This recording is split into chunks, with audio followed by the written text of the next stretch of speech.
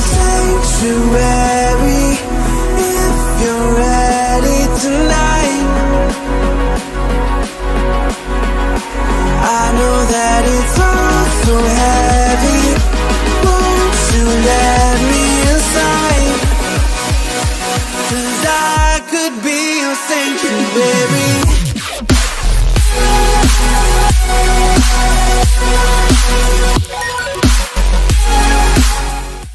What's up guys, hope everyone is doing well. In today's video, it's going to be a deviation from the usual. I'm not going to be going over any chart-based technical analysis in this video. Rather, it's going to be a video focused on an educational aspect of blockchain technology. Um, and then also not only touching on cryptocurrency, blockchain solutions, etc. I'm going to be touching on religious concepts as well relative to the Bible. Um, but to go ahead and get it started here, I'm just going to jump into the actual, so you can see right here in the top left, according to these six little bubbles right here, and then our mysterious black hole here in the center. I'm going to be going over a blockchain technology breakdown, but for our first topic here, altcoins, tokens, oh my, what we can see here are is an image of a, what I've labeled, typically people just call them cryptocurrencies, even down here, because um, I took this image off offline obviously. Um, it I changed right here where it, it originally said top 30 cryptocurrencies but I changed it to cryptographic placeholders because this is a term that I use because it's more generalized. Because as you can see on this image not only are there you know stable coins crypto collateralized coins such as which is on this um, chart image such as DAI which is collateralized by Ethereum but then this ball right here we have fiat collateralized, so we had UST, um, rip to that. Then we have right here SBD, USDDT, USDC, Wrapped Bitcoin, and then Binance US dollar. And then down here it says plus some chosen ones right here. Those are just according to like Doge, Theta, Klay, and IOTA that didn't technically um, to the person who made this image, which right down here says Martin Toma. They didn't put those in any specific categories, but as I mentioned on my, or mentioned on my channel a lot, the store value right here, we have Bitcoin It's the fundamental store value for all cryptographic placeholders, whether they be just a mundane currency, something like Dogecoin right here, or one of these three right here, utilities, securities, equities, which I will break down into more detail here in a moment. But outside of that, as I was talking about with Bitcoin being a store of value, right now just for mainly cryptocurrency as the adoption of blockchain technology in form of its various solutions and just the general fact that it can and will in due time uh, uh, and uh, intensely reshape the fabric of society in terms of global social cohesion in terms of peer-to-peer -peer interaction whether it be mundane transactions whether those transactions be small transactions or large transactions um, things to do with the metaverse, NFTs, IoT devices, etc., so on and so forth. Outside of that, we have some exchange tokens right here, which would be Binance Coin, Uniswap token, which is a decentralized exchange, which is a place where you can, through, so Coinbase, Binance, uh, Gemini, uh, Crypto.com, which right here would be CRO, their coin. Those are centralized exchanges, meaning that they have you're still essentially dealing with a middleman, i.e. the company, just the people, the business, you know, obviously Coinbase, Binance, it's essentially, I mean, it's a business at the end of the day, given that it's a centralized exchange. Things like Uniswap and Sushi, which would be the token for it, Sushi Swap, and then I don't know if this might also be, I mean, obviously it, it might be a decentralized exchange right here. I don't know what this HT coin is, but Uniswap and Sushi Swap are decentralized exchanges where you can, through decentralized applications associated with smart contracts because at the end of the day smart contracts are the base coding basically like the rules the guidelines like you have a rule book for like a board game tabletop game that you play. These are the for smart contracts hold the the functionalities the parameters that need to be met through some sort of transactional execution parameter in which it will this decentralized application will happen or if you want to for example given that I'm talking about decentralized exchanges you want to change you want to swap your Ethereum in for Dogecoin or whatever other coin this is executed by a smart contract decentralized uh, applications etc and then right here Again, I was mentioning about smart contracts. Ethereum is a platform, a layer one foundation that hosts smart contracts. Same thing for ADA, Cardano. We have Polkadot Dot, Tron, which is uh, I don't know too much about it, but I know it's something I've always been interested in. I just haven't gotten around to looking into it. But it has to do with like the uh, blockchain solutions in terms of like the actual internet itself, which I'll touch on more towards the end of this video. And obviously, it's just likening back to the whole. I mean, Tron is a uh, it's a point of uh, pop culture and being. I believe it was a book um, as well. I'm assuming that's what the movie was made from. I don't know too much about Tron in terms of its canonical context um, in regards to that. But Tron was obviously a future-based um, contextual scenario, um, you know, far ahead in technological evolution. We have Solana, Neo, and then EOS. Right here we have utility tokens, which would be like Filecoin, CVC, SC, Chainlink Link, um, BTT, and VeChain. Filecoin is basically where it's a blockchain solution wherein Filecoin basically acts as kind of like an arcade token for the blockchain solution that this protocol provides and allowing you, for example, if you don't have enough space on your computer to store files and whatnot, you can use hardware store or not hardware, but just storage space that other people have with their hardware, hardware, i.e. their computers, through the functionalities of this blockchain and in order to do facilitate those transactions essentially. Because transactions doesn't like a transaction isn't something that needs to be vaguely thought of as just like a monetary currency type thing. A transaction can be like your nft your metaverse property or like an actual like it's not just like currency or monetary like i said. And it's filecoin a native token to that blockchain which facilitates people being able to basically like rent out file space.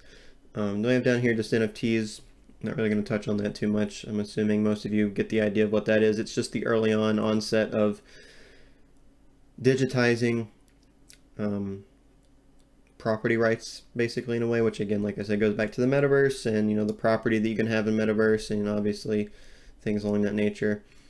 Right here we have equ equity security tokens, which uh, parallel slightly merge with the asset-backed tokens, which just go back to the stable coins and whatnot. Again, I'll touch on equity and security tokens when I go to these bubbles right here. But then, lastly, we have digital currencies, so things like XRP, Litecoin, Bitcoin Cash, given that Bitcoin itself is more supposed to be the store of value, where most of these coins are gathering their value from. Like I've said in the past, if Bitcoin were to go to zero, I'm not saying that all altcoins and tokens would go to zero, never recover, but at least the very vast majority of the value that all altcoins and tokens hold right now would be uh, severely diminished. And then Bitcoin Cash is basically this, obviously, as it says, the digital currency correlative of Bitcoin. We have Stellar XLM, XMR Monero. I don't remember what BSV is, but BSV and then Luna, again, ripped to that project. Luna Classic came out, but I mean, after what happened to it, I mean, personally, why would you even want to trust it at this point? Um, I will quickly touch on XMR and Monero. It's the only, I don't think it's, I'm actually, I'm not going to say it that way. I'm not sure if it's the only completely privatized blockchain currency, etc. at this point, but it is one of the most popular ones as far as I'm concerned. Um, which is I feel like it's it's accomplishing a very important aspect of blockchain and the fact that it is completely privatized. Like I feel like Bitcoin should be. It's not completely privatized at the end of the day, which is a is a downside that I personally see for Bitcoin. But to go ahead and get in breakdown of utilities. So what is a utility token or coin?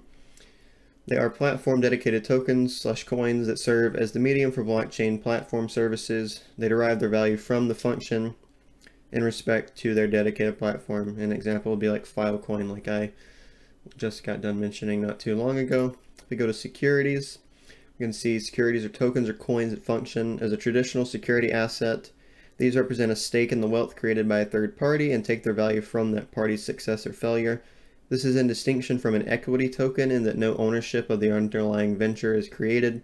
Security tokens are blockchain investment products which don't give any ownership in the underlying company but do take value from the company itself. An example of this would be XYO Oracle.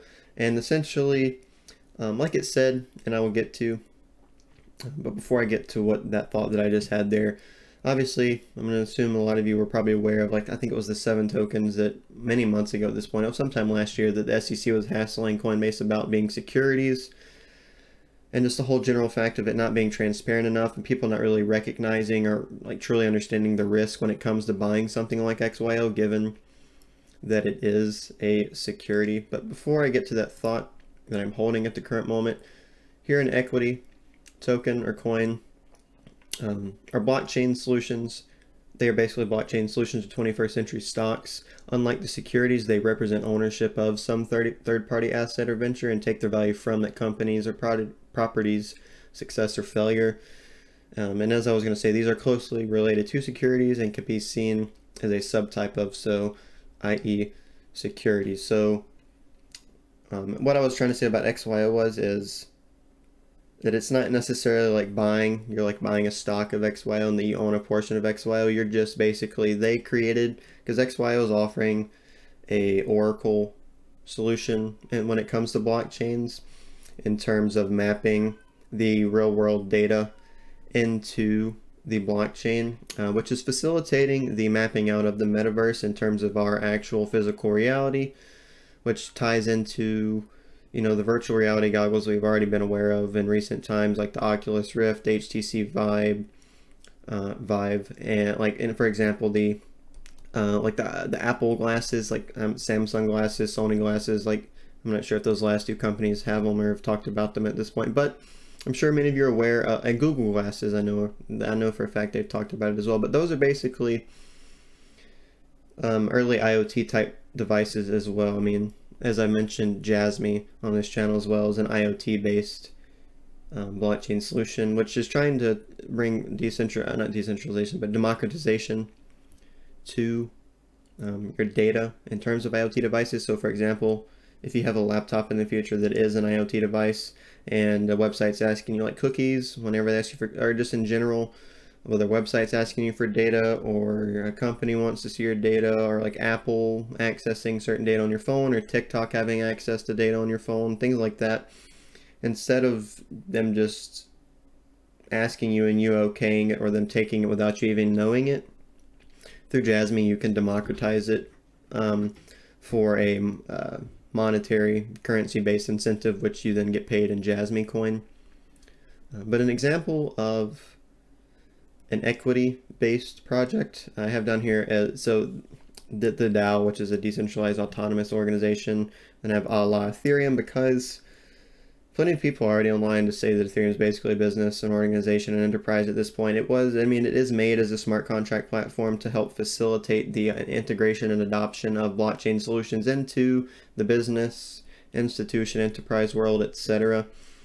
Um, and the fact that they just recently moved to um, proof of stake is also not necessarily a good thing either as well, which I will get to the personal downsides that I see of proof of stake um, as well. And they also, I mean, plenty of people in the past have said that Ethereum has tried to, and has essentially already, I mean, at this point, put tried to put too much functionality. I think I'm remembering this correctly, but put too much functionality within its layer one foundation, which is just going to inevitably down the road cause chaos for the main chain, just the blockchain in general, whichever one may actually end up doing something like that. But right here, we have a breakdown of what proof of work is. Proof of work being native to the Bitcoin blockchain is the progenerate consensus mechanism. Progenerate is just basically the origin, the first consensus mechanism. That's what I mean by that. Um, this form of consensus mechanism requires a lot of processing power, hence the label proof of work, which is directly related to cryptocurrency mining. As in the days of old, we used to mine for gold as a source for store value. We now, in the modern age, digitally through electric output, mine Bitcoin. Instead of energy, um, instead of energy, geez, my bad. Instead of the energy of man-based mining, we have now in the modern era advanced to the energy of electrical-based mining. These digital, virtually based miners, through their electric output, are in a race to be the one to solve a given mathematical puzzle, which when solved, makes an addition of a single block to the blockchain as a whole. This winner is the one to update the blockchain with the most up-to-date bundled block of verified transactions native to the chain. and also receives a given amount of crypto. In the case of Bitcoin, dependent upon the given halvening epoch, the reward is 50, 25, 12.5, currently on 6.25 per block reward, so on and so forth until it has been estimated around 2140 for the last and final Bitcoin to be mined. The form of figures are known as the block size with respect to the amount of Bitcoin rewarded to the lucky miner who solves the mathematical puzzle of each additional block, which it is the complexity of said mathematical puzzle and the computations, etc. that goes into solving said mathematical puzzle that requires so much energetic electrical output. Proof of work is great for bringing decentralization and security to a blockchain, but when it comes to scalability, this is where proof of work finds its downfall, and this is due to the intensity of energy consumption in the mining process the more the miners, the larger the decentralization and security grows. Down here I have a pictorial flowchart of Bitcoin and how they are minted. So we're going to start up here at the left. So the life of a new Bitcoin starts when a number of existing Bitcoins are used in transactions. Right here we have Dan's and James of Bitcoin from his secure wallet. The software automatically bundles this transactions with others. So basically all the other transactions that are going on with respect to the current block into a block, then transmits the block to a network of computers so that everything can be verified. Three, computers on the network fast act fast to verify the block of transactions. Four, once proven valid, and by, going back to three, computers on the network, it's basically uh, going back to um, nodes if I had to. And I mean, and I, I have it somewhere on here at some point, but not all nodes when it comes to Bitcoin. I'll just speak specifically here. Not all nodes are miners, but all miners are nodes. But anyways, going to four. Once proven valid, the block is added to the entire ledger of all Bitcoin transactions. The shared ledger is called the blockchain. Five, for future verifications, up uh, for future verifications, updated block the updated blockchain is then distributed to the entire network and six, so the final step, the miners who were first to verify the transaction and up update the blockchain are rewarded with bitcoins. But going here to Bitcoin's Lightning Network, given that this is basically the layer two of proof of work when it comes to Bitcoin. Um, but click in on here, zoom in a little bit more. Let's see, that's good. So the Lightning Network was created and introduced in order to solve the scalability issues that face Bitcoin's blockchain due to the consensus mechanism proof of work. The Lightning Network acts as a layer 2 solution in terms of blockchain scalability built on top of the layer 1 foundation that is the Bitcoin blockchain and the ledger associated with. Imagine that the Bitcoin blockchain is a spherical ball of yarn, that this looped ball of yarn is an informational highway houses nodes. Again, like I said earlier, not all nodes are miners, but all miners are nodes. In each of these nodes, you can, you can okay, so like I'm mentioning with the, um, the, the, the looped ball of yarn, imagine the nodes, whether they be miners or nodes, let's say there's a hundred, there's a hundred nodes on the, the ball of yarn and the string along it, which act, which look like just circular dots on the ball of yarn. The black ones are just nodes, people running node software on the computer that houses um, the blockchain ledger, etc., in order to make this more secure and whatnot, decentralized. And then you have white dots on the the uh, string of yarn with respect to the ball of yarn that act as the miners. Um, but in each of these nodes within itself, hold within itself the information respective to the Bitcoin blockchain that the blockchain may intercommunicate in order to maintain systemic equilibrium, just efficiency, you know, ample enough, at least efficient enough, decentralization, security, etc. Just the general things that blockchain is trying to bring about with its solutions. Now think about the Lightning Network, hence the name, as a plasma helice. So just again, like I mentioned, I've already mentioning a ball of yarn, which is already technically kind of looped in a helixy like fashion. Now we're going to think about this spherical ball of yarn, but now there's another loop basically of yarn helicing kind of like you know DNA, but not a I'm not necessarily talking about a double helix right now. I'm just talking about one spiral. Hence me just using helice that twists around the uh, the twist around and spirals around the main highway, which again is the string of yarn and the, the the first spherical ball yarn that I've mentioned, which hopefully you're imagining in your head when I talk about this stuff. But um, and the main highway is the Bitcoin blockchain itself, and the Lightning Network, or the Plasma Helice, acts as a side highway, basically an off-chain and off-site highway outside of the main chain, essentially, in order to more efficiently process transactions.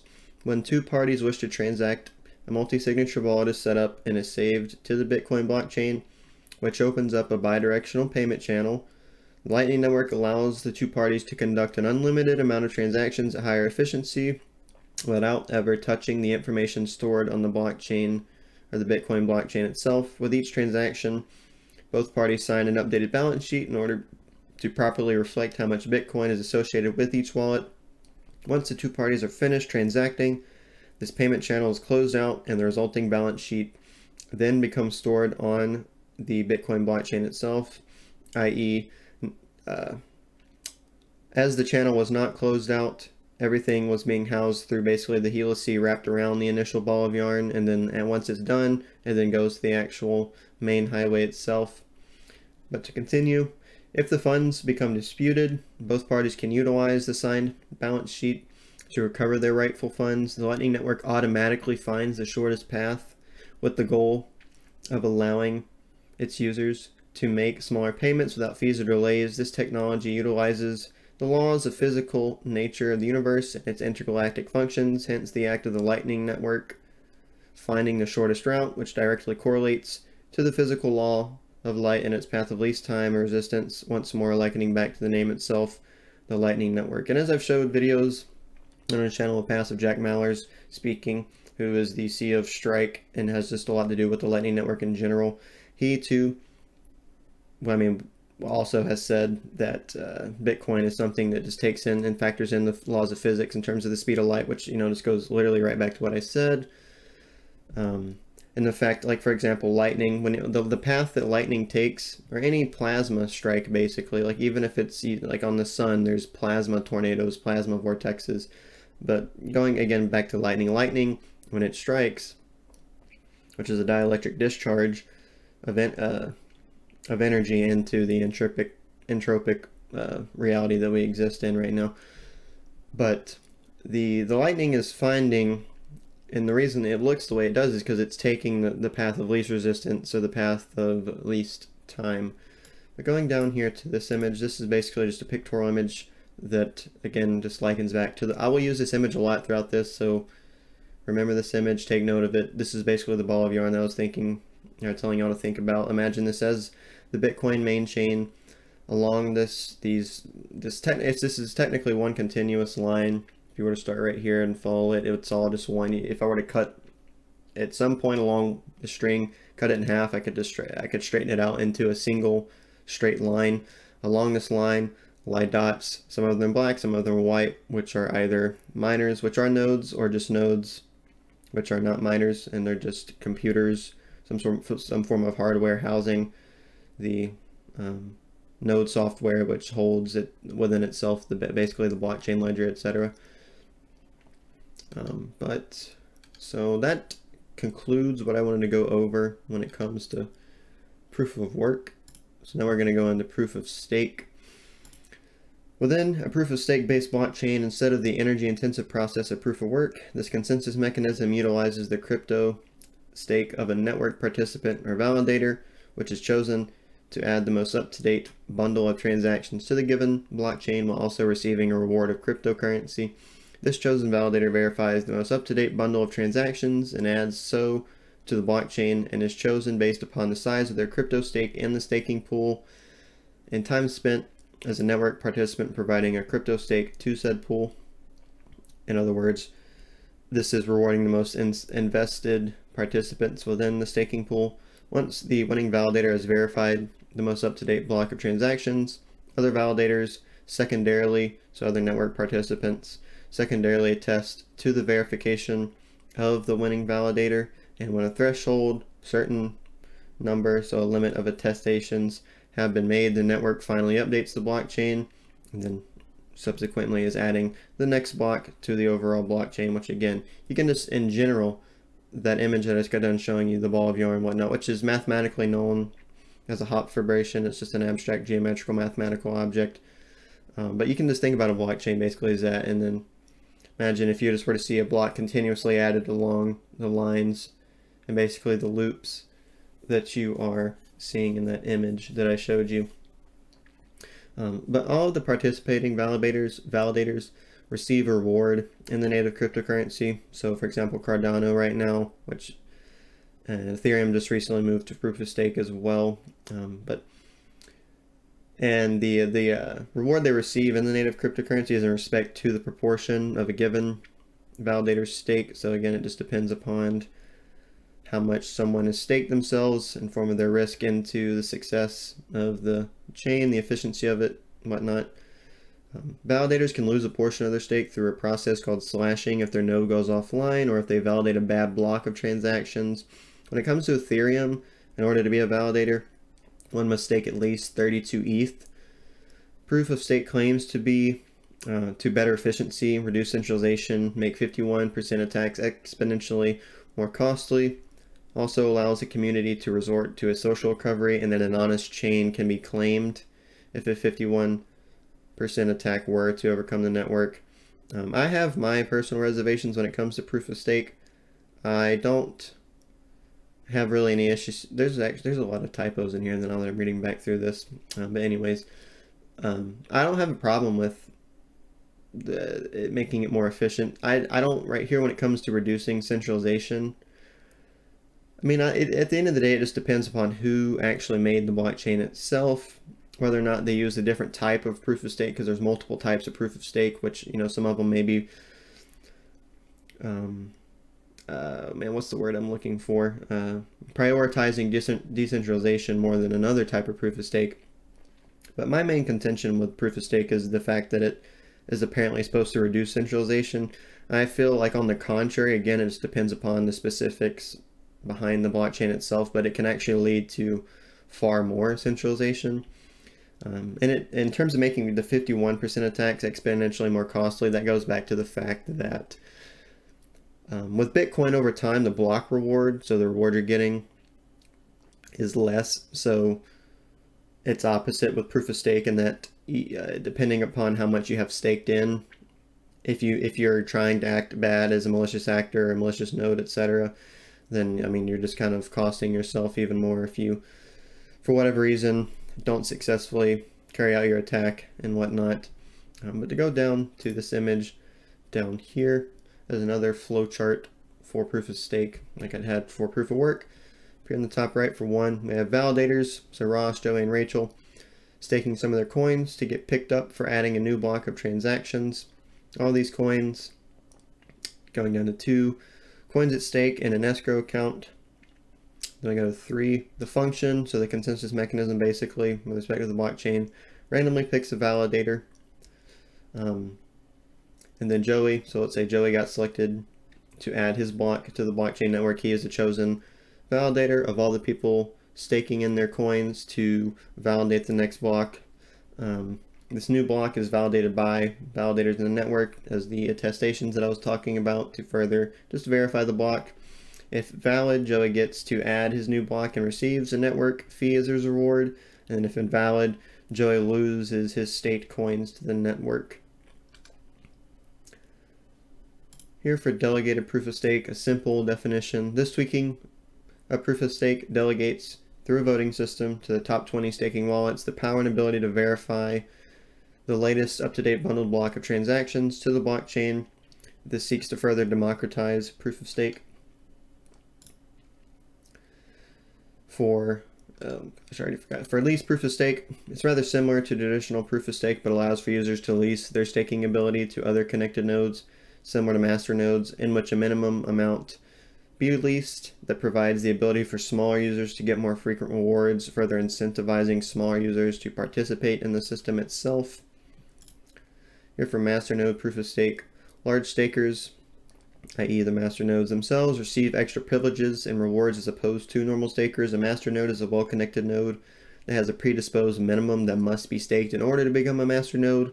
Considered to be more trustworthy than a regular node, it's talking about master nodes due to their heightened stake, i.e. a heightened risk if also especially to be found faulty in their validation process. When I mentioned the when I was talking about earlier about how to me, it seems like proof of stake can definitely lend towards higher centralization, which I'm sure plenty of other people believe that as well. But I feel like masternode proof of stake will definitely, even though it says right here, considered to be the masternode is considered to be more trustworthy. Like I said, it, it really all at the end of the day just depends upon and goes back to the intentions of the people who have made the blockchain itself. Um, and whoever the master node belongs to, it depends upon the intentions of that person or I mean, obviously, I mean that. I mean, I feel like that should be kind of commonsensical and obvious. Intentions are pretty much everything when it comes to the motives and the reasonings behind things in this world and decisions, um, etc., so on and so forth. But again, just to go back down to this image, I was mentioning with proof of work and the miners and whatnot, you can just imagine on here, you have a bunch of dots.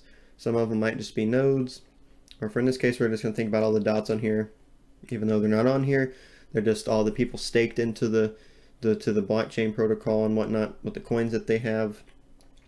And then the function, which nicely just ties into how this, like I said, this is a Hopf fibration. It's a mathematical object, which means that it has a literal mathematical function associated with it. One you could specifically think of is the uh, zeta function once it is carried out to quaternionic space, which is three dimensions across time. Um, but basically, like I said, and it goes back to this image, the function randomly picks someone, one of the dots on here, which are stakers, to validate the chain and then add the next block to it. But going back here to the next bubble, now we're going to jump into the various layers associated with blockchain technology right now. We're going to start off with what most people should be familiar with in layer one foundational protocols. Layer 1 blockchain protocols or main chain architectures are terms commonly used to denote the foundational underlying basis for blockchain-based applicative solutions. And by this, what is meant is the blockchain-based applicative solutions. Oh wait, no, I got confused on the line.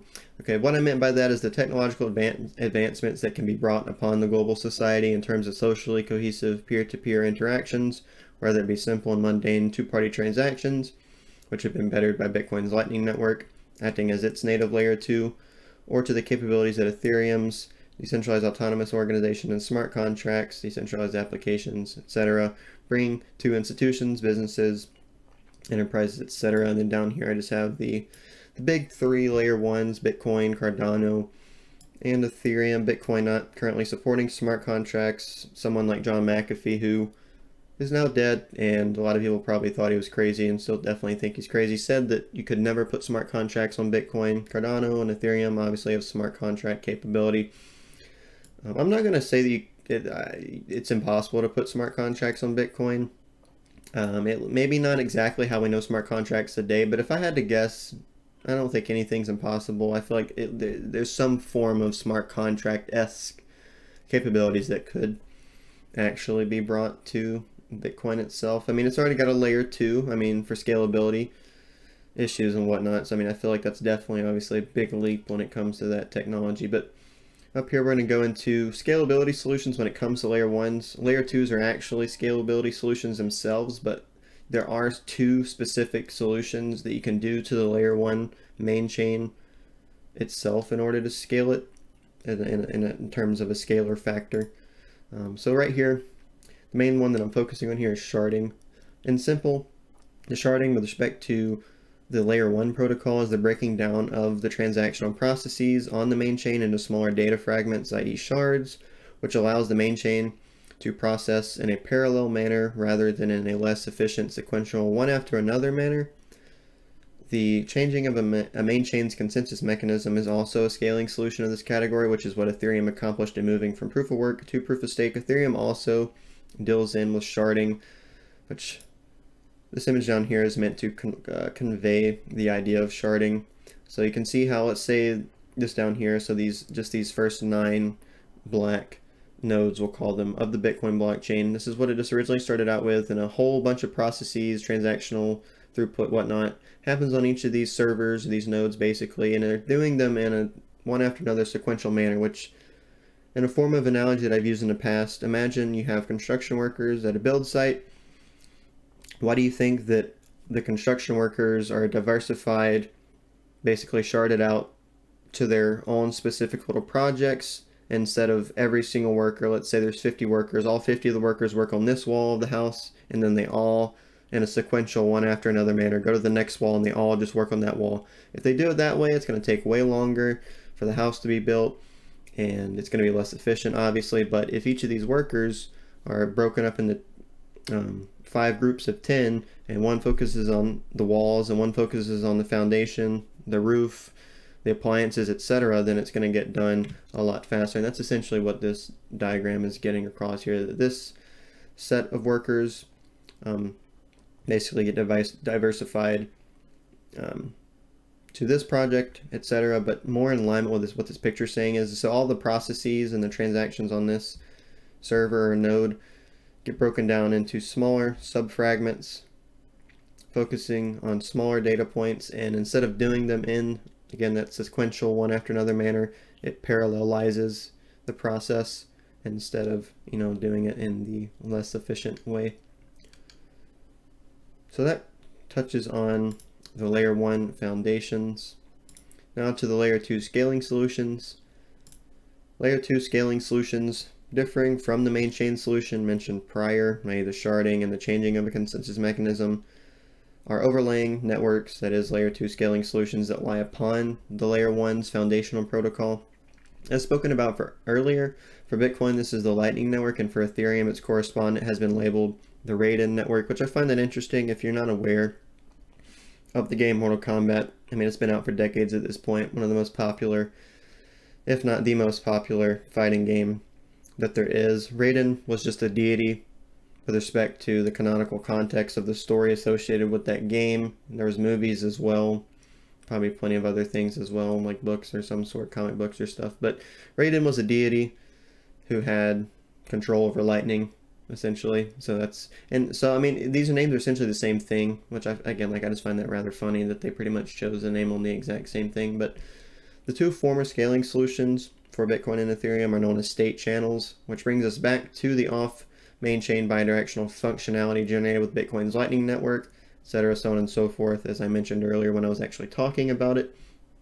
But Bitcoin's Lightning Network is meant for large numbers of microtransactions, i.e. smaller transactions, in a limited time period, going back to you know Lightning Network, making it fast, etc.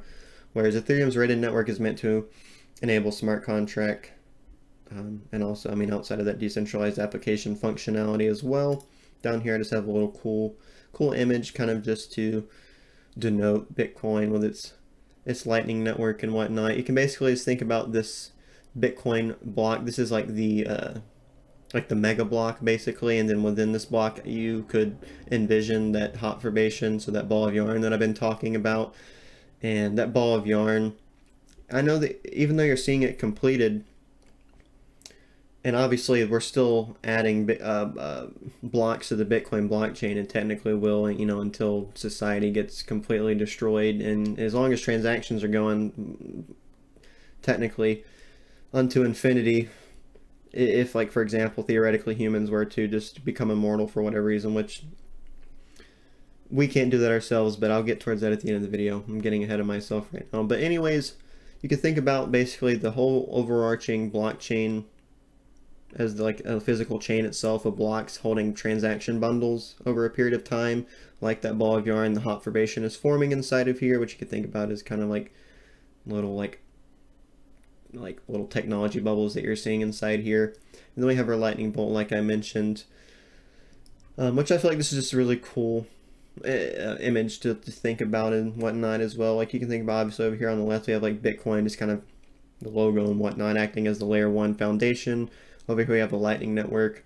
And then up top, we don't really have anything yet, which jumps into layer 3 and interoperability solutions, which I will touch to here in the coming time. But here for types of um, layer 2 solutions for the foundation protocol main chain itself. In simple, the action of nesting blockchains forms various off-main chain protocol solutions, or nodes in a way. You can think about them as that, but don't specifically categorize it to a node. I, I will use node, and I probably already have in this video for things that, you know, like probably necessarily shouldn't technically in most accurate or accurate or precise sense be used that, but I only do it because it kind of just conveys a general, simple, intuitive idea of what I'm trying to get across. But anyways, to reiterate, the action of nesting blockchains forms various off-main chain protocol solutions on top of the layer 1 foundation. These off-main chain protocols will form a parent-child relationship to the main chain, meaning that the main chain will delegate certain functionalities to a respective off main chain protocol in order to alleviate functional stress on the main chain itself, which kind of just again likens back to the, the Lightning Network in that it's off-siting um, microtransactional throughput to the Lightning uh, network ecosystem, I'll say, in order to you know have less uh, uh, throughput power on the main chain itself and then after it's done through that that bidirectional the basically offsite payment channels and the the state channels and whatnot it will then once the two parties are done with their transactions and all the stuff that they want to do then it prints it and sends the actual information back to the blockchain. But the off-chain or the off main chain protocols perform their respective functionality then send back the informational output to the main chain not only does this nesting solution take functional stress off the main chain, but can lead to an expon exponential increase in scalability. Oh OmiseGO, which is an Ethereum-based decentralized application, works via a nesting solution called Plasma. Which again, down here I have a diagram I found for that. So again, like I said, you can have, we have our root chain, which is another word for main chain, basically a layer one foundation. And then again, so we have the we have the plasma contract. This little, um, so like I said, parent-child relationship. This is the parent. All four of these are children, off-site locations, terminals, nodes, protocols, whatever you want to call them. Um, this one has to do with micropayments, social networking capabilities when it comes to blockchain, decentralized exchange, and then a private blockchain. But then again, like I said, I'm at this this Hopf fibrations are fundamental to our natural universe. Um, as I've mentioned in the past, I, I am a polymath and I have, when it comes to a scientifical background, um, and many of you might be thinking, oh, this guy just used the word scientifical. Yeah, there's a lot of words that I use that are literally are not words of our dictionary. But anyways, my main points of study have been in physics, fundamental physics, um, periodic, fundamental physics. You're not going to find the word periodic anywhere because it's a word it's a term that I've coined. Again, like I said, I am a polymath. I'm a self-educated polymath. Uh, and I'm not likening myself, and I'm not saying I'm a genius or anything, but if you don't know what a polymath is, that's what Isaac Newton was, that's what Leonardo da Vinci was, and plenty of other very smart and other intelligent people throughout our time in history that made a lot of great contributions to society. But this is just fundamental to basically you're kind of looking at, especially if you take it with regards to the zeta function, which is one of the millennial problems for mathematics that you get a million dollars for solving. As far as I'm concerned, I believe that I have actually solved it. Um, I haven't put that out anywhere um, because it's technically part of a book I'm writing. I'm not really done with the book. I don't. I plan to get it published this year, but there's also a lot of other things on the horizon that I see that might uh, delay that quite reasonably. But anyways, this is just, like I was saying, it's fundamental. Imagine at the center right here we have the Ethereum root chain, and then around it we have floating the um, the the uh, parent child or the the child basically to the parent. So we have the plasma contract in terms of social network, micropayments, decentralized exchange, etc., all floating around in this outer portion right here as kind of like off-site locations, again likening back to the Lightning Network. But finally here for layer 3 interoperability solutions. Shrouded in mystery to many, the realm of layer 3 interoperability solutions brings about the Internet of Value. A proposal by XRP Ripple, the Internet of Value aspires to be a blockchain agnostic mega ecosystem where data-based value is transferred easily, cheaply, and reliably. This is very important. Do not confine data-based value just to currency-based value, but rather everything we have conscious awareness of now, in the present, in the past, and in the coming future holds some form of mental, social, emotional value to some individual, even if it just to one soul. These points of conscious, data based value range from currency, assets, stocks, property rights of any form, a la metaverse property, excuse me, NFTs, etc. Scientific discoveries, electoral votes, literally anything that has the ability to hold data based value within the consciousness of one's soul, or two, the blockchain data bank ledger, or just a blockchain data bank ledger, which directly parallels with and to the Internet of Things, um, unto the Internet of Value, for it is the Internet of Value, as far as I'm concerned, that will eventually, ideally, and ultimately provide the climactic backbone of Internet of Things devices and their exchange and harboring of data-based value. So on here, I know what I said made to a lot of you be a lot to take in because I use words like consciousness and soul, which are very esoteric to pretty much everybody nowadays, and a lot of people really don't even, especially with consciousness, consciousness, and trying to like program it and whatnot.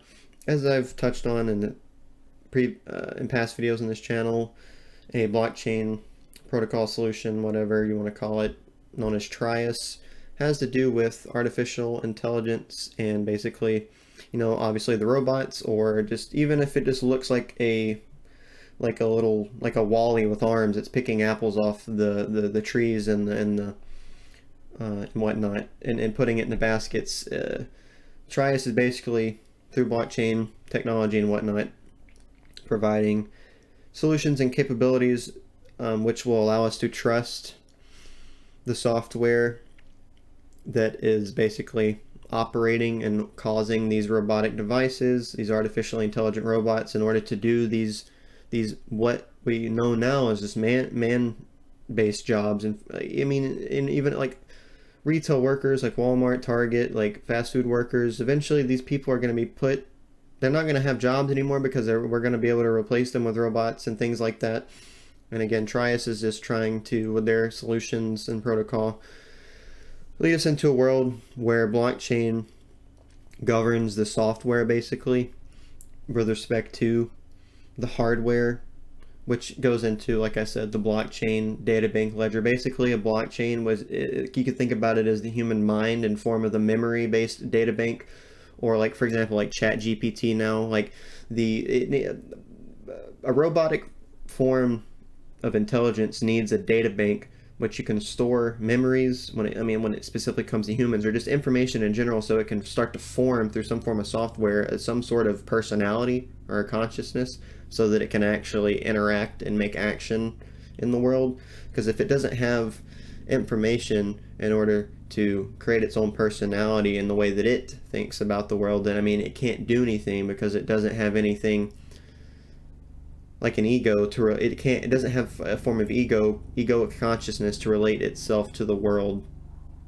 Um, right here this again we're seeing the Hopf fibration here um, before I get to that so examples of things trying to bring in uh, interoperability solutions would be think quant is another one as well but right here for specific examples I have internet protocol and inter, inter ledger protocol Again, another important word here would be to blockchain agnostic mega ecosystem, which goes down to this image right here. So as I mentioned in the past, I feel like it would make most sense that at some point there is a layer three interoperability solution that comes to Bitcoin like I was mentioning earlier, like on the top right here, we don't have anything yet. We have Bitcoin as the main chain, layer, layer one foundation. We have Lightning Network as the layer two foundation, but what's our what's our layer three interoperability? I feel like it makes most sense that Bitcoin, which what you're right now looking at in terms of what I'm talking about with respect to this contextual bubble is instead of it this just representing the Bitcoin main chain with another Lightning Network in a helix-like fashion going around the, the, the, the lines that you see currently. This is now what I just got done saying, the blockchain agnostic mega ecosystem where Bitcoin sits at the very center as the layer one foundation with its layer two, with its layer three interoperability functionality built onto it, which acts as the ability to agnosticize the entire mega ecosystem and basically disregard in a simple way the differences between Ethereum, Cardano, XRP, and literally every other single cryptographic or cryptocurrency, blockchain, solution protocol, etc., which would all be spiraling around Bitcoin at the center. Um, it has to disregard the differences in layer twos, like for example, the Ethereum will have, or Cardano, or XRP, or whatever else, in order to bring that ag agnosticization to it so they can actually, in a cohesive manner, operate as that mega ecosystem as I have been calling it. Um, but the reason why I think it makes the most sense for Bitcoin to be here at the center when it comes to this is because, as I was mentioning on, on the first contextual bubble of this video, Bitcoin is the fundamental store of value for all cryptographic currencies, placeholders, whatever you equities, whatever you want to call it. Essentially, like I said, if Bitcoin were to crash to zero, which I don't see it happening, I don't one I don't know obviously, and I wouldn't I wouldn't for I'm I'm a lean to the fact of not thinking that it would cause something like Ethereum, Cardano, XRP, or whatever else to crash to zero and never gain in value again, because I'd have to assume that there would still be other conscious minds within the actual physical global ecosystem as a global society that find value in Ethereum, Cardano, or XRP. But at the same time, given that I'm theorizing everything I'm saying right now, if Bitcoin crashes, then that might completely obliterate any trust that anybody has in any blockchain protocol, given that Bitcoin is like, it was the first one, it's the progenitor, it's, it is literally the top dog when it comes to blockchain solutions and its technology as a whole. Um, but again, yeah, I just, I feel like it makes the most sense for Bitcoin to be the, uh, basically the interledger protocol or the internet protocol and have some sort of layer three solution built on top of it instead of it going to some other blockchain and things along that nature.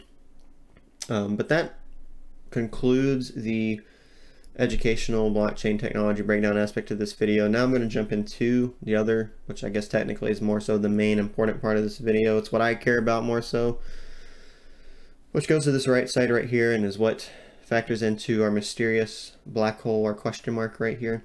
So you have blockchain, a Trojan horse. What are the true motives and intentions behind the push of blockchain right here? I have a horseman, a Trojan horse basically, and associated with Bitcoin. I'm not trying to lay like heavy emphasis on Bitcoin being the major evil here, but the only reason why I have Bitcoin pointed out so significantly is because it, I mean, it like I've been saying, it's the progenitor of blockchain technology, etc. and whatnot.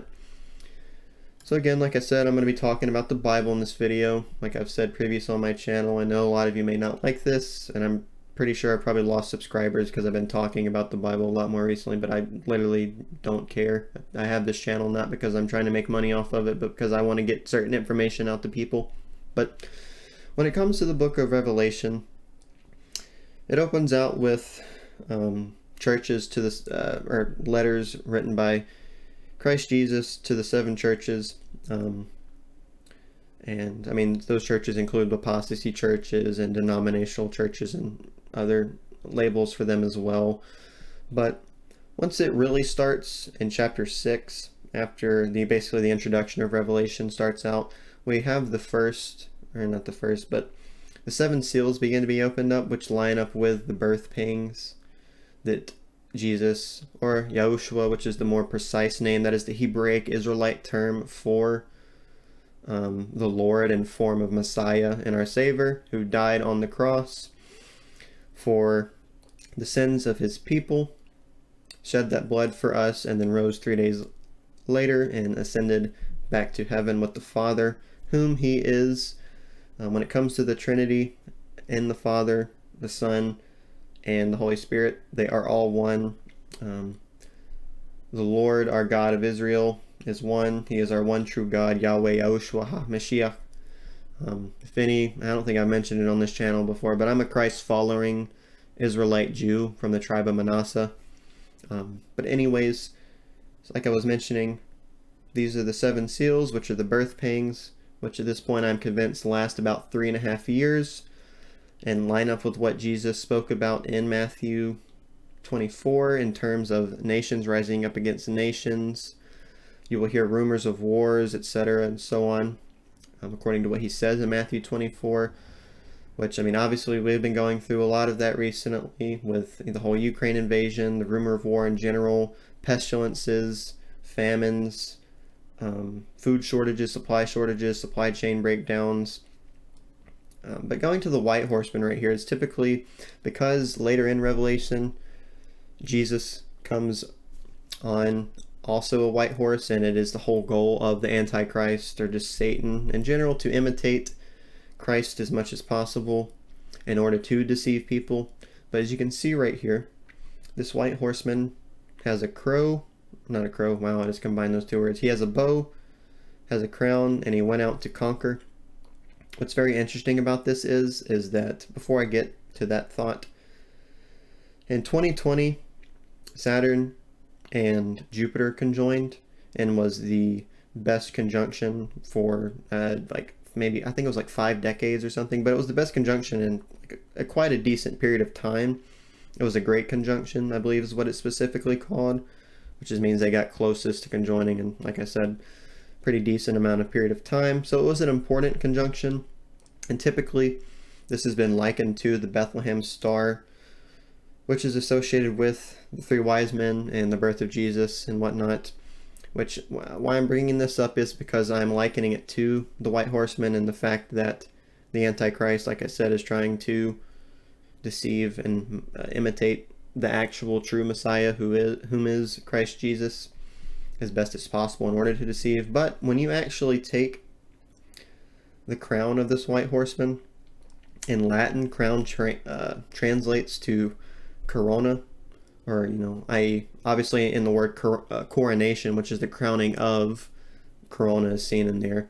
Um, and obviously, we've been going through the coronavirus pandemic, so I don't think that's that's obviously not a coincidence. I don't believe in coincidences. Everything happens for a fine-tuned, exact, precise reason. Um, and then when you go to bow, bow translates to toxin, toxon, well, technically toxon, T-O-X-O-N, and then obviously toxon is toxin with an I, and then obviously poison would be another word associated with. So I'm not going to specifically point on what I'm getting out with that um, for obvious reasons, which I'm assuming most of you would be aware of, but just think about it.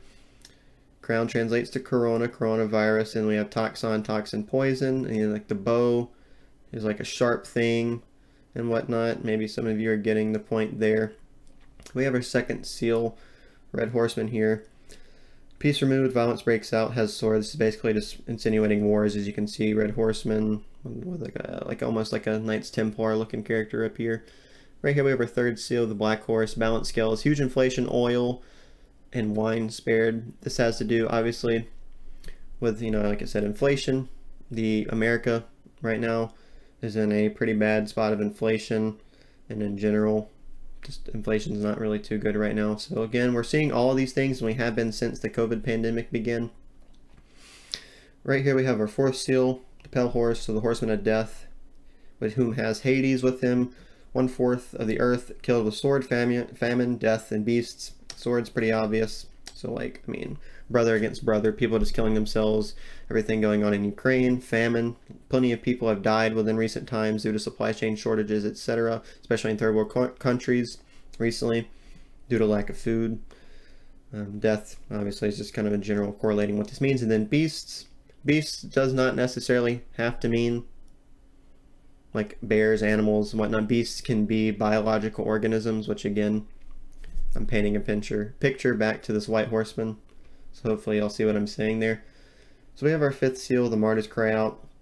Martyrs cry out, how long? Not until the number of brethren to be killed is complete. This is likening back to the completion of the gospel being spread throughout the earth, which is just basically uh, one of the parameters that needs to be met before the actual tribulation. The seven year tribulation begins, which is broken up into the first three and a half years, which is just the tribulation. Then the second half is the great tribulation, as Jesus called it in Matthew. In general, this is Israel's tribulation, not the church's tribulation, which I'll get to what I mean by that here in a minute. We have our sixth seal, celestial signs. We see the earthquakes, the sun darkens, the moon turns red, stars fall, and the sky begins to recede like a scroll. Jesus also spoke about this in Matthew 24, that the sun be turned to black. Um, and that the moon shall not give its light, or essentially turning red. A lot of the this is likely this light this could likely be insinuating some sort of nuclear fallout, some sort of which I mean obviously has been on the horizon recently with everything going on in Russia, Ukraine, and whatnot. And not too uh, long ago, recently, China shot up an artificial sun, which was it was smaller, more compactified, more dense, and it, it got hotter than our actual sun. Which I mean, I feel like that, if anything, kind of points at the fact that like if we have a nuclear holocaust, basically, they could we could just shoot up an artificial sun and be fine. Which obviously, it's not a good thing to begin with. Um, so leading into the seventh seal, they this image has lining up just in general with the rapture. Heaven silent about half an hour.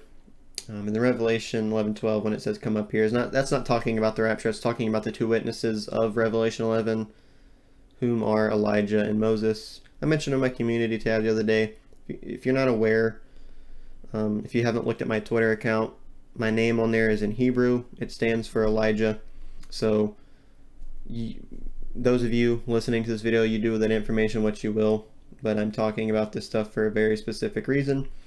As I said, these seven seals, not all of them have been opened up yet because the church has not been raptured yet. The rapture has not occurred, but although we are getting very close, like I said, all this seems to be lining up with the COVID pandemic, lining up with the opening of the first seal, uh, the seven seals, which are the birth pangs and are likely as the general tribulation time period is partitioned in the three and a half year segments, these are going to last three and a half years as well. And this year, 2023, which also, if you add up the numbers in 2023, adds up to seven, about halfway into this year, it will be three and a half years since I genuinely believe that the first seal was starting to being opened up by the Lamb, i.e. Jesus Christ, Christ Jesus, Yahushua, Yahweh Yahushua HaMashiach, began opening them up at the beginning of the COVID pandemic.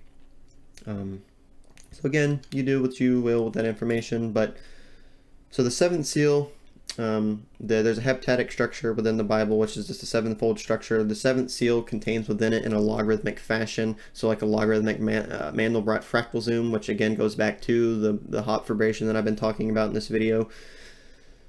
Um, if you remember what it looked like in your head, if you were to start from either the North Pole or the South Pole, or technically it's a conjugative counterclockwise and clockwise rotation when it comes to dielectromagnetism in general as a physical functional aspect of our natural reality.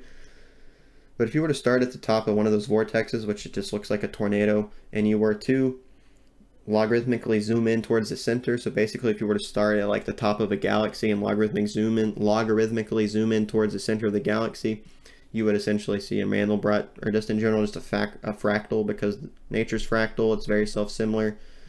If you are familiar with my content, you know I mentioned that with the charts a lot. I mean, obviously, we look at the charts, if you can look at it in a non-logarithmic fashion, but a logarithmic fashion, fashion proposes a better view of the charts. Um, but like I was mentioning, within the seven seals, heptadic structure, a logarithmic unfolding. Within the seven seals, outcomes in a logarithmic fashion, the seven trumpets. The 144,000, 12,000 from each of the 12 tri tribes from Israel are sealed before these seven calamities of these trumpets unfold, which are led by Moses and Elijah during the first three and a half years of Israel's tribulation, which again, the first three and a half years of the tribulation, and the latter three and a half years of the great tribulation. During the first three and a half years, while Moses and Elijah, along with the 144,000, do their prophesying, and eventually are overcome and killed by the beast who comes out of the bottomless pit. So the Antichrist eventually overcomes and kills them.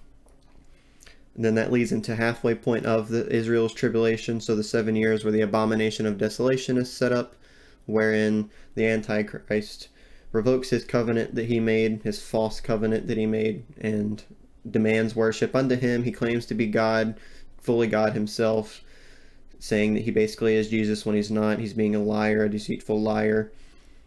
And he, um, after that, so once we have the abomination of desolation, we have these calamities. So I'll go ahead and read it out.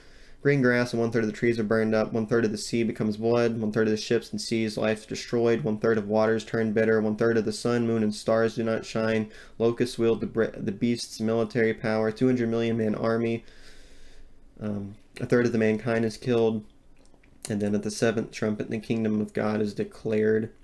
But like I was saying, Moses and Elijah do their witnessing, their prophesying for the first three and a half years. During those trumpets that I mentioned, they are overcome and killed by the beast, and then are revived three and a half days later by the breath of life or the Spirit of God breathing into them and reviving them. They get taken back up. I assume also the 144,000 go with them as well. But during those first three and a half years, Moses and Elijah, along with the 144,000, gather uh, basically the great multitude that the book of Revelation talks about, which, like I said, the church is going to get raptured up before the actual seven years of Israel's tribulation starts.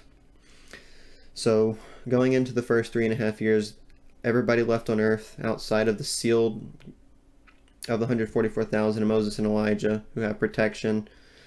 Um, and the enemies of Moses and Elijah, um, whoever tries to harm them, Moses and Elijah, they breathe fire out of their mouths and they kill their enemies. So that's obviously, yeah, that's pretty cool if you ask me.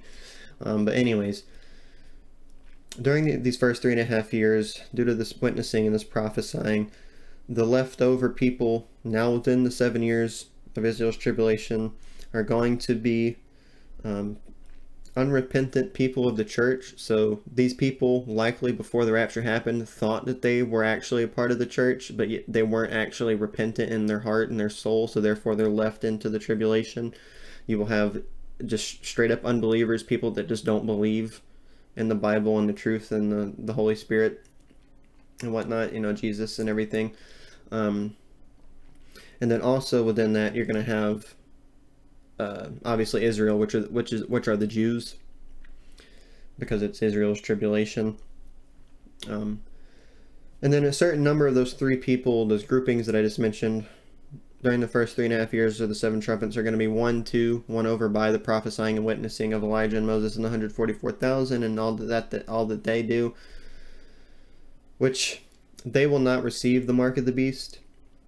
Um, and the people that don't heed the warnings, basically, of the 144,000 and Elijah and Moses will receive the mark of the beast.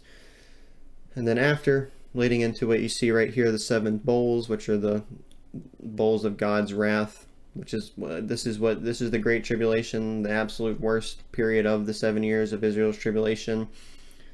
So on to this great tribulation goes in those three groups that I mentioned after Elijah and Moses, and I assume the 144,000 are taken up.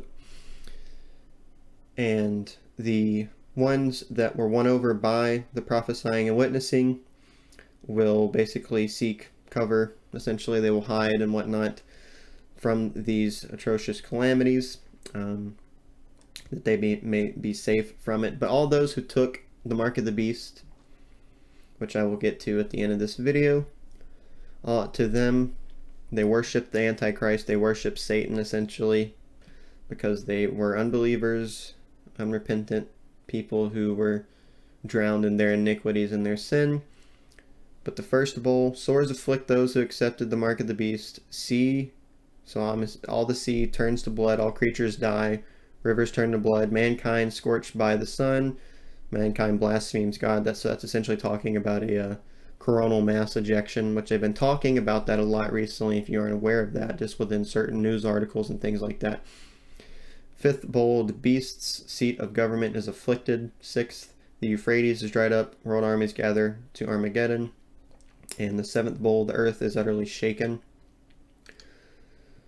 So that concludes these three images, but before I get to the black hole, another part of eschatology, which is the study of the end times when it comes to the Bible, is the Magog invasion. There's two camps of belief when it surrounds this that it's more likely associated with the Great Tribulation and the Battle of Armageddon. I don't personally believe that. I believe that the Magog invasion, because Magog lines up with Russia because it's north of Israel or Jerusalem. I personally believe, generally at this point, that the Magog invasion was the Ukraine invasion, and it is something that is a part of the birth pangs and the seven seals leading up into the first three and a half years of the total seven years of Israel's tribulation. But finally, the last topic of this video is going to be the Mark of the Beast, which I, I put it on my Twitter account not uh, a few days ago, but the Mark of the Beast is blockchain solutions. as you can see right here, part of Revelation 13, 16 through 17, and he causes all, speaking about the Antichrist, just Satan in general, causes all, the small and the great, and the rich and the poor, and the free men and the slaves to be given a mark on their right hand or on their forehead, and he provides that no one will be able to buy or to sell except the one who has the mark, either the name of the beast or the number of his name. The mark gets set out onto the world during the first three and a half years, and then it leads into the last three and a half years, which were the seven bowls of wrath. And then those people who took it, worship Satan essentially, have the wrath poured out upon them, and then out of that come the great multitude, went over during the first three and a half years. Um, but again, this, like I said, the mark of the beast.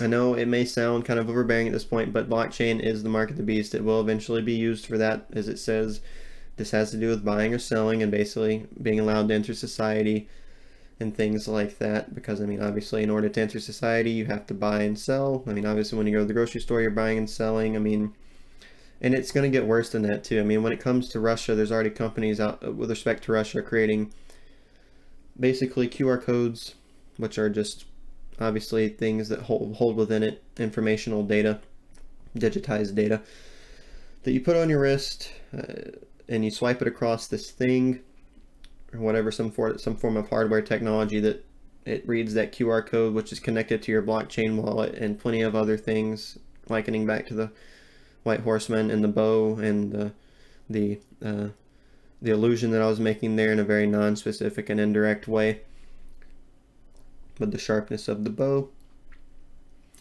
um, but basically and this also goes back to Bill Gates. Bill Gates has a patent with respect to cryptocurrency stuff that's, you can look this up for yourself.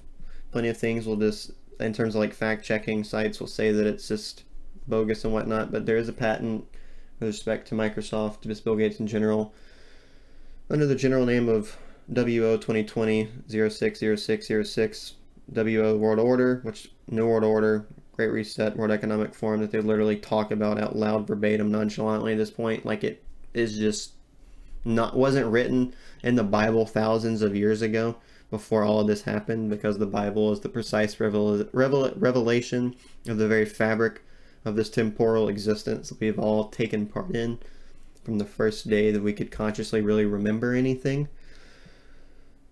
Um, but World Order 2020 0606666. So, and then obviously when it says uh, either the name of the beast or the number of his name is likened back to 666 and it goes further on in this chapter 13 of Revelation to say that with those with wisdom calculate the number of this beast, um, his name, and it says 660 and 6 basically, so 666. Um, so outside of that, right here just to get on my preacher mode right now um, that we should be baptized in his name whether you are part of the Gentile church or you are a, uh, a Jew as well.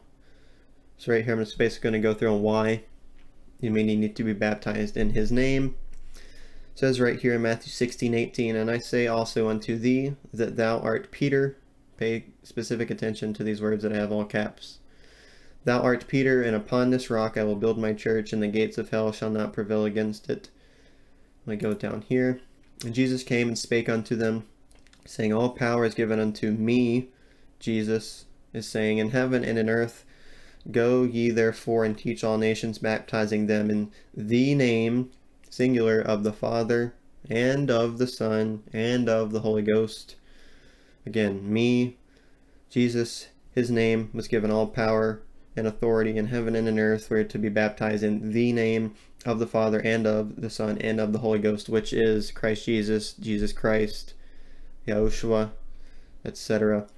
And then it goes on to say, Jesus says, teaching them to observe all things whatsoever I have commanded you, and lo, I am with you always, even unto the end of the world. Amen. And then we have down here, in the book of Acts after the four gospels, which you can technically in a way think about as a fifth gospel, if you will.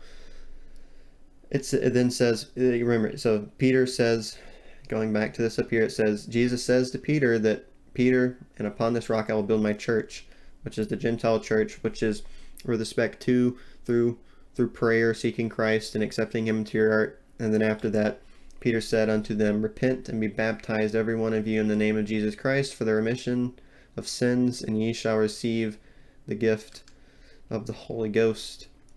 Um, and then right here, I just have, Praise be to the one true God of Israel, Yahweh Yahushua HaMashiach. Then right here, I just wanted to, like I said, I, if you can see it pretty clearly on here, I have overlaid on here that Hopf fibration that I've been talking about. Then behind it, have a logarithmic portrayal of the universe. On the outermost edges, you can see what is the CMB, cosmic microwave background radiation. At the center, I have Salvador Dali's fourth dimensional depiction of Christ upon a hypercross. Or technically, it's a hypercube. When you unfold a hypercube, it looks like a cross in four dimensions quotes four dimensions because there's only three dimensions of space and then one of time, and that's why I call it four dimensions. Um, but the reason why I have this Hopf fibration, so this spherical ball of yarn overlaid on here is because this goes back to, like I said, the zeta function and basically the distribution of galaxies throughout the entire universe. It also goes back to the distribution of, when you look into the realm of quantum physics, the bosonic and fermionic particles, which in my theory, don't exist as such particles. All particles are just microcosmic singularic points of dielectromagnetic control basically. So they're just basically crux terminal points basically that house within it the data needed to control the Larmor frequency that dictates the center of an atom or the galaxy and why the galaxy spirals as it does and why our solar system is specifically fine-tuned to have the life that we do and etc so on and so forth. But right here again just going back to this image as you can see right here for going again like I said going back to the image for by him by him I mean Jesus Christ Christ Jesus Yahushua all was made. We have right here Genesis 1 1 through 4 in the beginning God created the heaven and the earth. In Genesis God right here is it's it's Elohim which likens to a multiplicity in terms of the Trinity, which again, the Lord our God of Israel is just one, the Trinity is one. But continuing, and the earth was without form and void, and darkness was upon the face of the deep, and the Spirit of God moved upon the face of the waters. And God said, Let there be light, and there was light, and God saw the light that it was good, and God divided the light from the darkness. Again, going back to right here, God being Elohim. Later on, within Genesis chapter 1, on the sixth day when God says, let us make man in our image and our likeness. He's saying it's saying God is saying our, again likening back to the Trinity, Father, Son, and the Holy Spirit, which again all has one name, as I mentioned previously with the baptism. Right here in Colossians 1, 15 through 18. Who is the image of the invisible God, the firstborn of every creature, and for, for by him were all things created that are in heaven and that are in earth, visible and invisible, whether they be thrones or dominions or principalities or powers. All things are created by him and for him, and he is before all things, and by him all things consist. And he is the head of the body, the church, who is the beginning, the firstborn from the dead, that in all things he might have the preeminence. Colossians 1 15 through 18. In the beginning was the Word whom is Jesus Christ, and the Word was with God, and the Word was God. The same was in the beginning with God. All things were made by him, and without him was not anything made that was made. In him was life, and the life was the light of men, and the light shineth in the darkness, and the darkness not darkness comprehended it not. John 1, 1 through 5. And also in the Bible, Jesus says that he is I am the light of the world, Jesus says. Also likening back to when God in the Old Testament, Exodus chapter 3, verses 14 through 15, gives to Moses his memorial name unto all generations. Exodus chapter 3, verses 14 through 15. What number is that? That is 3.1415. That is pi. It's a transcendental rational number. When you actually go back to Genesis 1 and you take, in the beginning God created the heaven and the earth, and in the Hebrew, because the Old Testament was written in Hebrew, you take the number of the letters times the product of the letters, because Hebrew is a language, has numerical values associated with each letter. Again, take the number of the letters times the product of the letters and divide it by the number of the words times the product of the words. It gives you pi. So pi is found in Genesis 1 1, If you go to John 1 1, which is in the beginning was the Word, and the Word was with God, and the Word was God, these are the two verses in the Bible that speak about the beginning, the creation. If you do the same thing here, this time it's in Greek. Greek also, because the New Testament was written in Greek, the Greek also is just one of the two languages that has numerical values associated with its letters. You do the same thing here, number of letters times the product of the letters divided by the number of the words times the product of the words, you get given Euler's number, which has to do with logarithmic identities and functions, etc. Which, like I said, goes back to this right here being basically, as I said, with this vortex right here that spirals down into Christ. If you were to start right here and logarithmically zoom in to the center of the universe or the center of each galaxy, it really honestly doesn't matter, but it's better just to think about it as the center of the universe. The image that you get, what you see is, again, according to Colossians, who is the image of the invisible God, the firstborn of every creature. He is Jesus Christ. Christ Jesus is his name, as I said earlier. Praise be to the one true God of Israel, Yahweh Yahushua HaMashiach. Um, but that concludes um, this video that I wanted to get out to you guys. Once more, I hope you all enjoyed this content. I hope from the bottom of my soul that the things that I went over in this video with respect to the Bible touched you in a way that may lead you to the everlasting truth and to the everlasting life, that you may seek Christ in your heart through prayer that you may accept him and be baptized in his name for the remission of your sins, that you may receive the Holy Spirit and be a part of him unto eternity. All that being said, I hope you guys enjoyed the video and you all have a blessed day